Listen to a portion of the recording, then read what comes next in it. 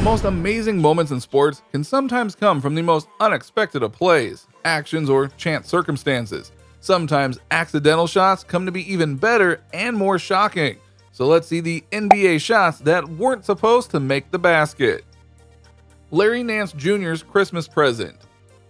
Back in 2015, an Ohio based guy, Larry Nance Jr., was selected with the 27th overall pick in the 2015 NBA draft by the Los Angeles Lakers.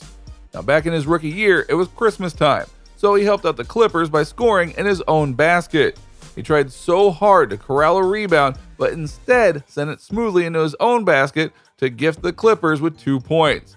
It is actually the worst possible thing for Nance, as fans everywhere would have been watching the game and looking for some Christmas entertainment. Sadly for Nance, the entertainment he provided was comedy instead of quality basketball. As he elevated to haul in a rebound with one hand, which would have been a nice way to grab a loose ball, he somehow managed to flick the ball from the free throw line and send it smoothly into his own basket. The Lakers were going to have a hard enough time winning anyway, and that was before adding their baskets into the equation. Matt Barnes three pointer. Back in 2016, the third quarter between the Sacramento Kings and the Brooklyn Nets turned into something like a one sided affair, as the visitors, we mean the Kings, dominated the game and built a double digit lead that they never relinquished until the final buzzer.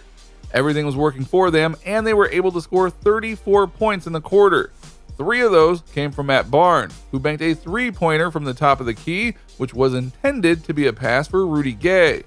Now, like what you say, when it rains, it pours, and that's exactly what happened for the Kings in that quarter as they outscored the Nets by 16 points, which helped them win the game 122 to 105. Taj Gibson's miracle. Back in 2017, with the Oklahoma City Thunder and Portland Trailblazers tied 57 to 57 with 2.8 seconds left in the half, Taj Gibson intercepted a long pass from Pat Connaughton, who inbounded the ball.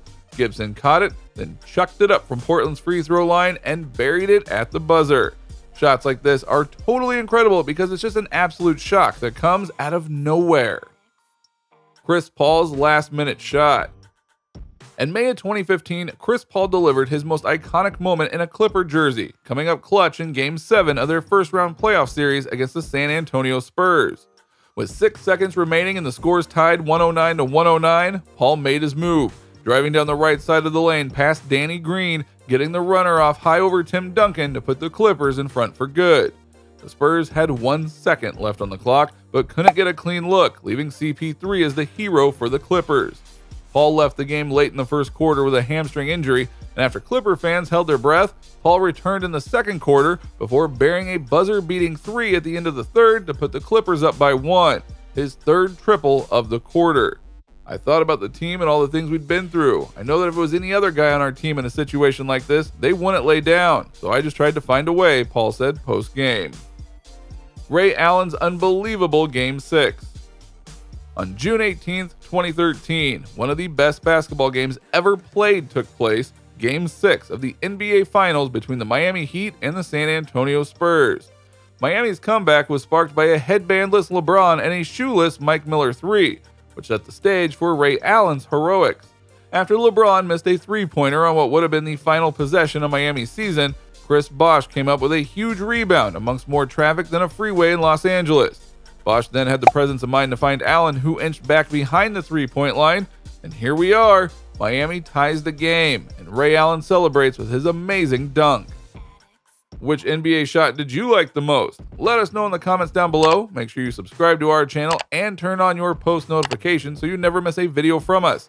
If you liked the video, don't forget to give it a thumbs up. See you in the next video, and thanks for watching.